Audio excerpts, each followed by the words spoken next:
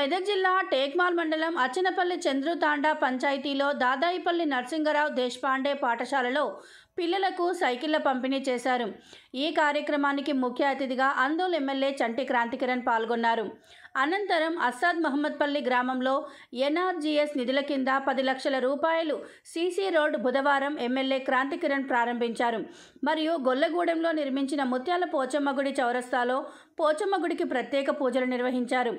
ఈ కార్యక్రమంలో Suresh MPP Chinta Swapnaravi MPDO Bharathi మండల టీఆర్ఎస్ పార్టీ అధ్యక్షులు భక్తుల వీరప్ప కార్యదర్శి అవినాష్ పార్టీ నాయకులు సిద్ధయ్య భాస్కర్ రవి రమేష్ గోవిందచారి కంది బాగయ్య సర్దార్ మోహన్ తదితరులు పాల్గొన్నారు. తప్పకుండా అన్ని గ్రామాల్లో అభివృద్ధి పదంలోకి త్వరగా వస్తాయని కూడా నేను కోరుకుంటూ మీరు మీ ఆశయం మంచిది. మా ఎంపీ గారు చెప్పినట్టు మీకు భారం అనుకోకుండా ఉంటే మీ మరీ ఏదో సేవ చేసినాక మొత్తం మండలం మొత్తం మీద భారం పోతున్నాం అనుకోవద్దు దయచేసి.